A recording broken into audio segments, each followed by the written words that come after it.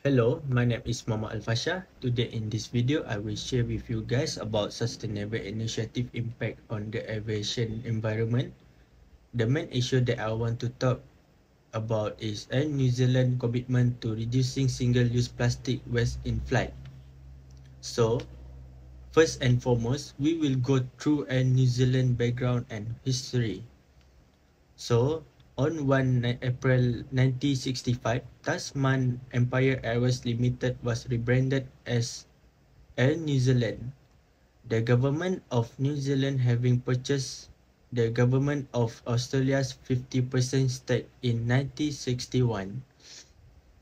Therefore, Air New Zealand began as Tasman Empire Airways Limited founded in 1939 by an international agreement between New Zealand, Australia and the United Kingdom. Its initial stakeholders were the New Zealand government, Union of New Zealand, Qantas and the British Overseas Airways Corporation. Next, back to our main issue. The current issue that I want to point out and highlight is the impact of the air transport industry on the environment is significant. There is no denying that airlines rely heavily on single-use plastic with more than 5 million tons of cabin waste created in the in a single year. According to IATA, the current issue that we face is the excessive use of plastic waste in flight. Based on the data provided by International Air Transport Association, IATA, estimates that a passenger flight generate approximately 6 million ton of waste per year. A major challenge confronted by the airlines in reducing waste to landfill is the apparent shortage of recycling and composting infrastructure available for the airline to send its waste material to. However, recent initiative from tackling carbon emission to reducing single-use plastic both on the ground and in flights indicate the airline and airports are united in their effort to reduce their impact on the environment. Therefore, Air New Zealand has introduced a series initiative to reduce single-use plastic on its flights, and it has this year committed to removing nearly 55 million plastic items from its flights. Furthermore, uh, the airline has removed individual plastic water bottles from its business premier and premium economy cabins, as well as from its work uh, deluxe offering as on Tasmas and Pacific Island services. This initiative is expected to divert more than 460,000 bottles from landfill annually to reduce uh, and reduce carbon emission by more than 6 300 kilogram per year by reducing weight on the aircraft.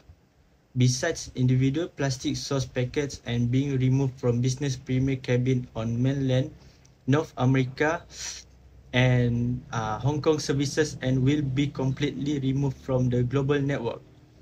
Customer will instead be served the sauce in reusable dish which is expected to prevent about 200,000 plastic packet from going to landfill each year.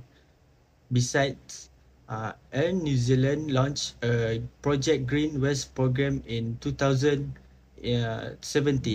Since its reception, the Project Green West Management Program together with other waste relation strategies has enabled the airline to mitigate the environment impact on its annual waste, especially those disposed disposed of landfill. According to them, by February 2020, the Project Green Waste Management uh, program had enabled and New Zealand to recover 85 ton of water bottles, over 11.5 million plastic glasses and more than 4 million sugar sticks. The airline is also set roll up cup made from plant instead of plastic across its domestic and international airport. Uh, while plastic uh, plastic waste cup will be switched to recyclable initiatives in alternative? The total of cup replaced by the end of this year of expected to reach 44.5 millions okay next. Uh, we will go through the benefit of initiative. So so the benefit is it could help increase the use and impact of single plastic at airport and aircraft. Meanwhile, one of the key benefit from uh, for uh, New Zealand from its Project Green waste management uh, program is the airlines achieving cost saving by not biosecurity treating the product and being uh, required to pay the applicable landfill charge. Uh, according to Bradley 2090, a further benefit has been of staff en- engagement.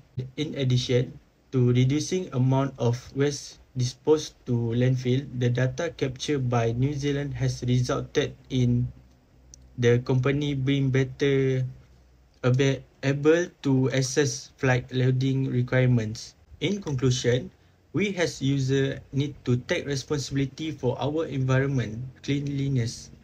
Reducing the use of single plastic is one of the strategies that can be used as it is one of the thing that can cause in-flight waste pollution. So that's all. Uh, thank you guys